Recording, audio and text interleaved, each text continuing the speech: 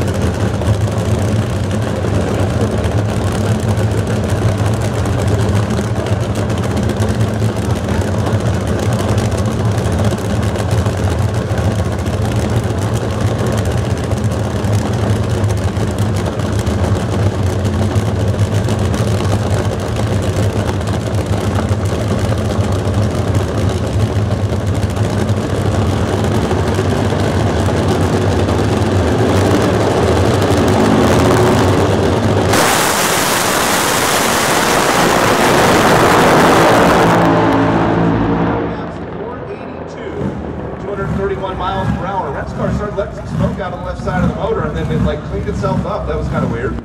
482.3, not an improvement. 502 for Jon Capps, not an improvement. Nathan Simcoe, congratulations. Number one for the pacemaker team.